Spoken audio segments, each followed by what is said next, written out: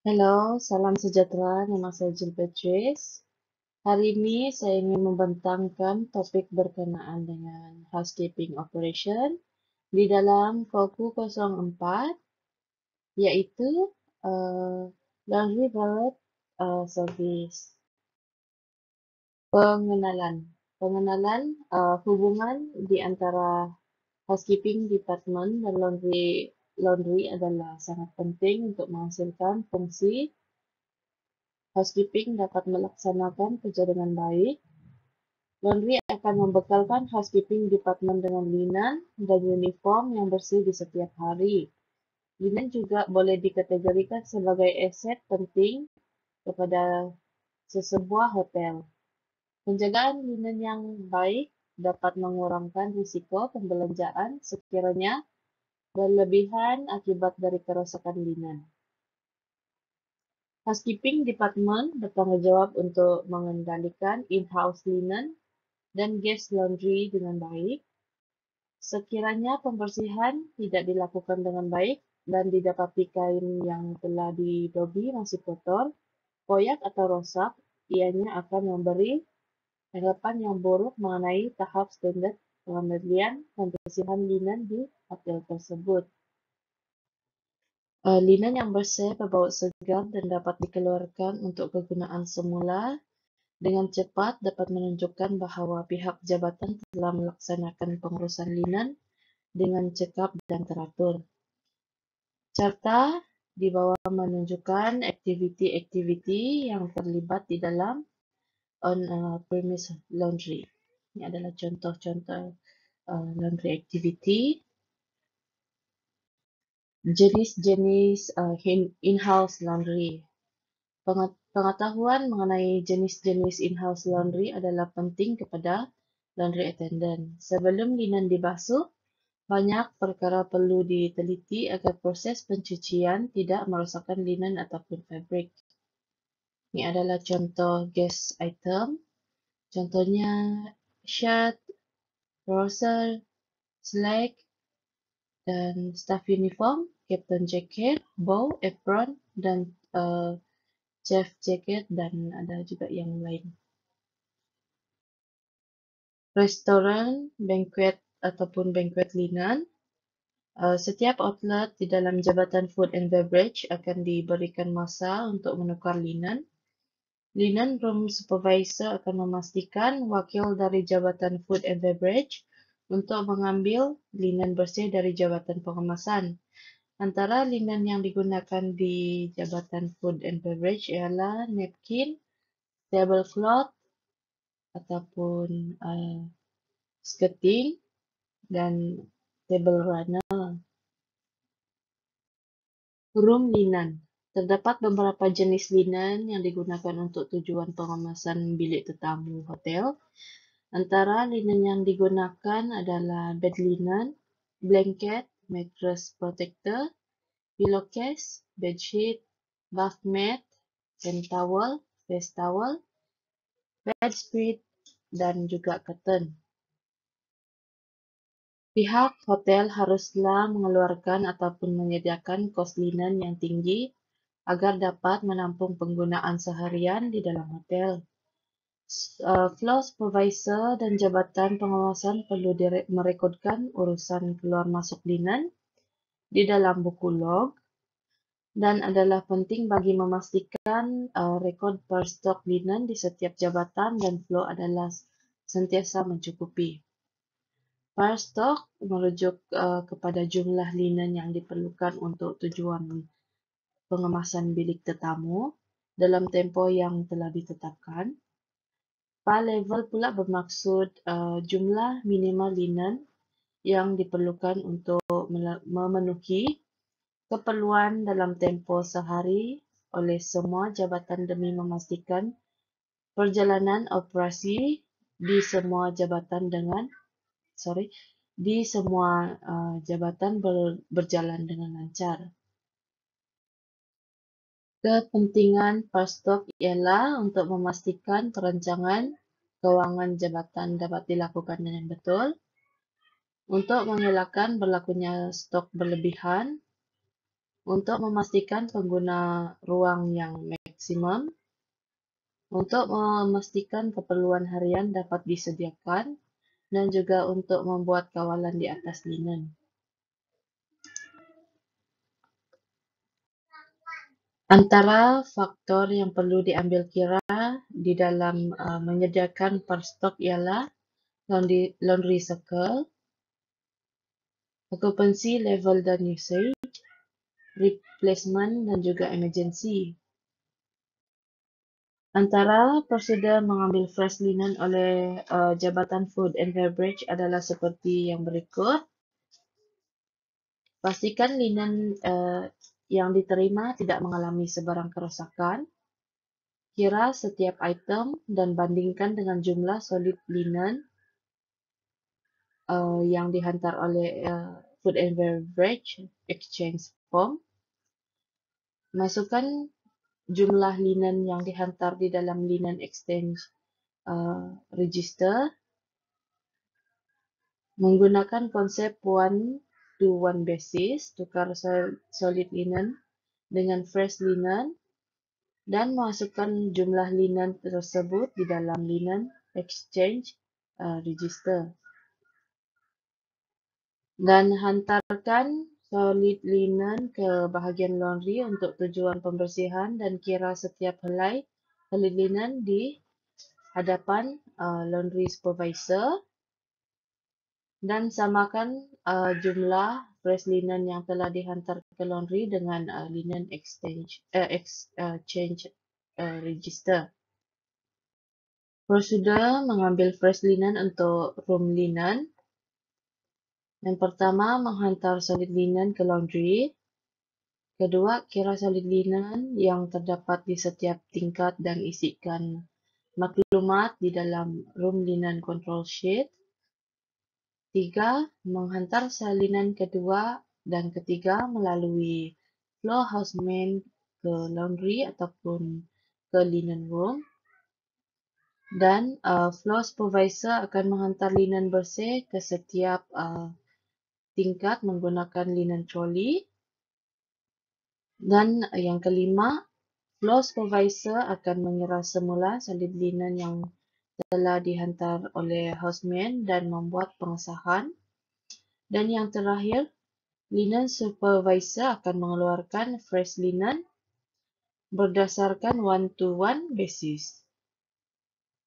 Dan uh, sekiranya room linen tidak mencukupi, pihak uh, laundry uh, attendant akan uh, mencatatkan baki yang masih belum diserahkan di dalam room, room linen control sheet. Prosedur pertukaran uniform pekerja.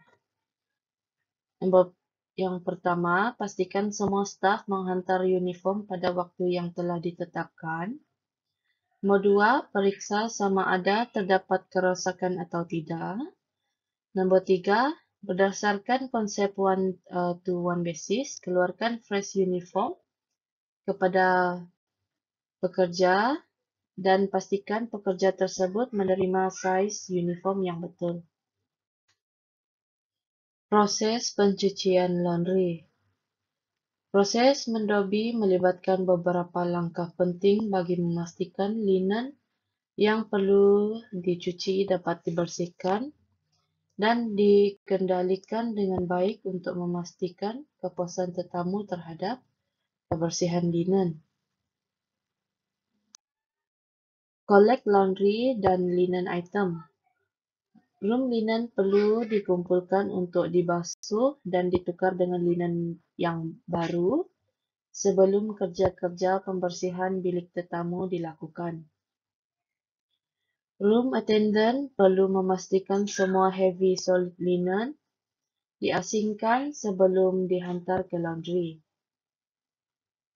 Satu kaedah untuk mengasingkan linen yang terkena heavy stain ialah dengan memasukkan linen tersebut ke dalam pillowcase. Linen yang kotor yang dikumpul uh, dari laundry, laundry uh, card dan floor pantry akan dibawa ke laundry dengan menggunakan troli. Solid dan linen perlu dibasuh dengan segera dan tidak ditinggalkan di dalam kart uh, untuk tempoh yang lama. Shorting uh, proses. Linen ataupun pakaian tetamu yang kotor perlu diasingkan mengikut beberapa perkara yang berikut, yaitu uh, kotoran. Linen yang mengandungi kekotoran perlu diasingkan mengikut tahap kotoran yang terdapat pada linen. Size Linen yang hendak dicuci juga perlu diasingkan mengikut saiz linen untuk senangkan proses pencucian dengan lebih berefektif dan memastikan muatan cucian tidak melebihi atau kurang daripada paras yang telah ditetapkan.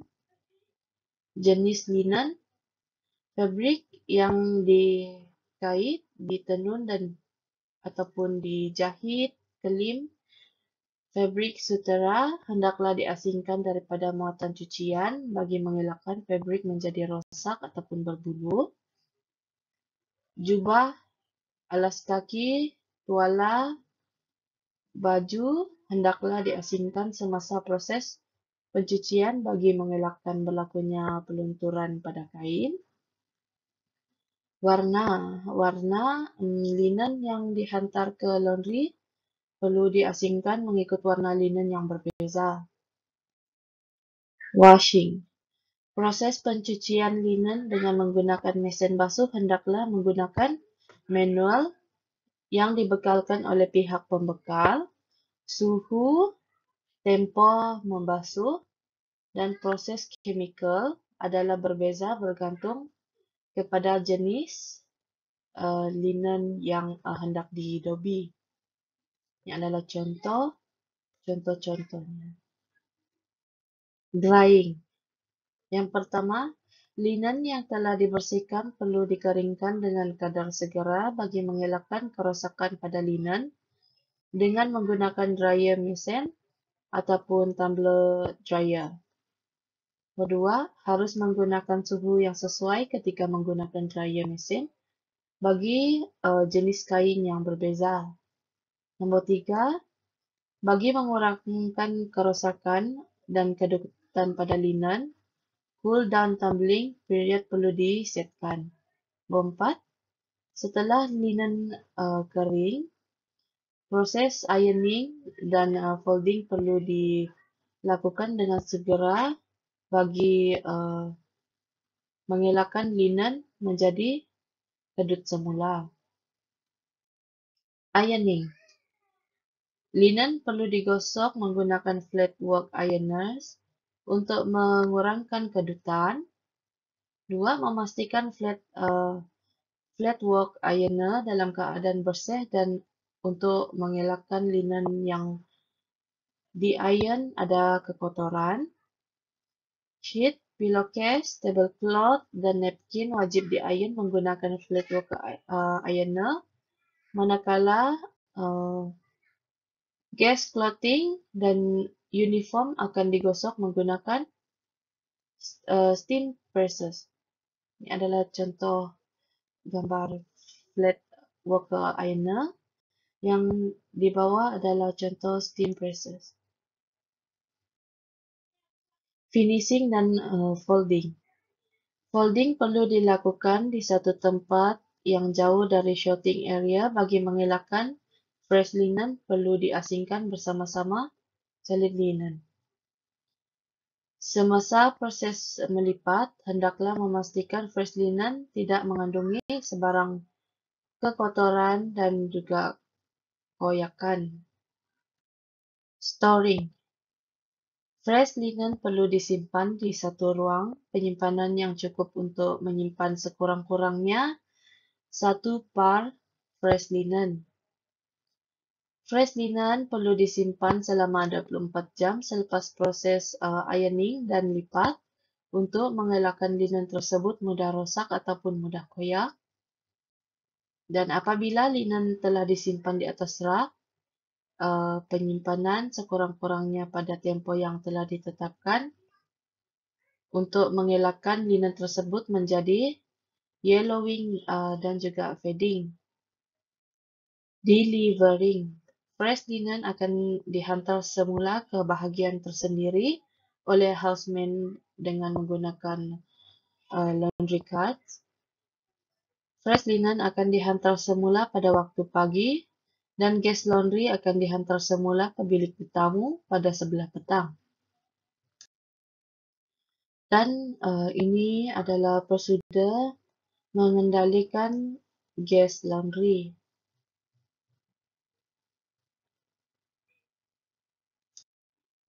Laundry billing procedure.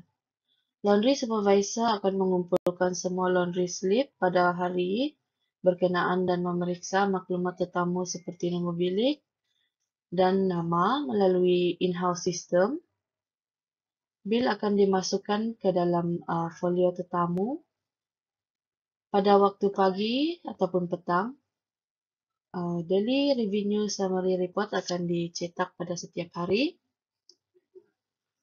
Dan laundry slip copy, contohnya first copy kepada diberikan kepada tetamu. Kopi yang kedua diberikan kepada accounting. Dan yang ketiga, diberi kepada reception untuk uh, doket.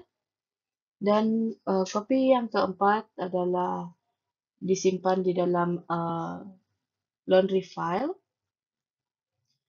Uh, sekiranya tetamu layak untuk mendapatkan kom, uh, complimentary pressing service, maksud, uh, masukkan jumlah helaian pakaian yang diberikan complimentary dan pastikan tiada sebarang cas dikenakan ke uh, folio tetamu.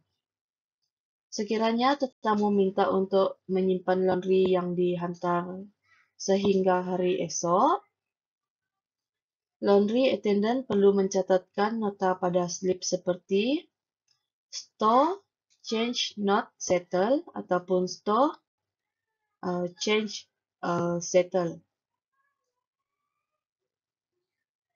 Sekiranya perlu, laundry yang uh, perlu disimpan di housekeeping department perlu dibayar secara tunai oleh tetamu hotel.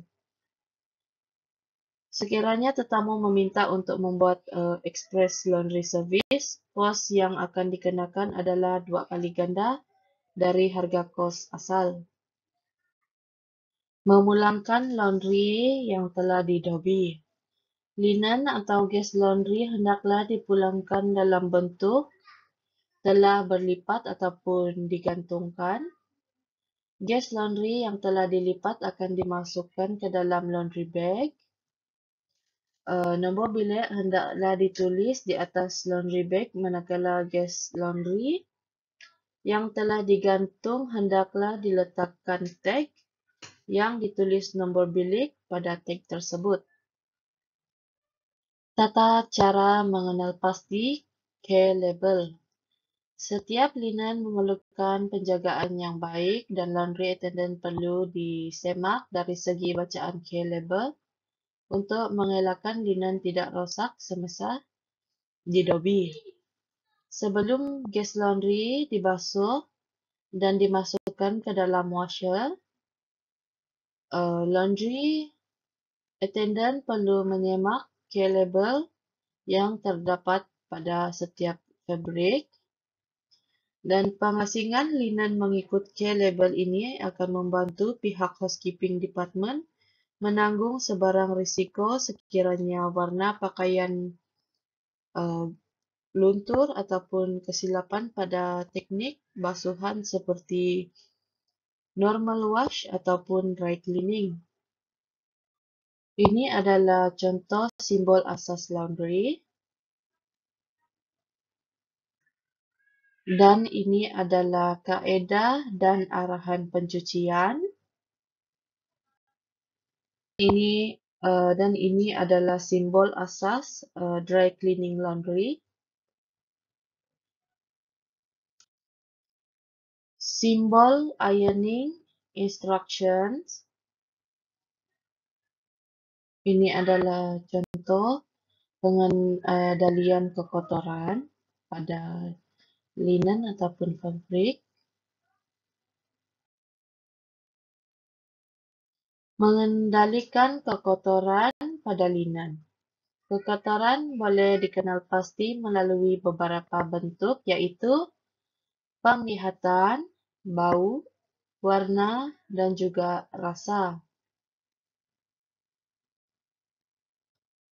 Terima kasih kerana memberi kerjasama untuk menonton perkongsian saya mengenai Koku 04 Laundry Valet uh, ataupun Linen Service.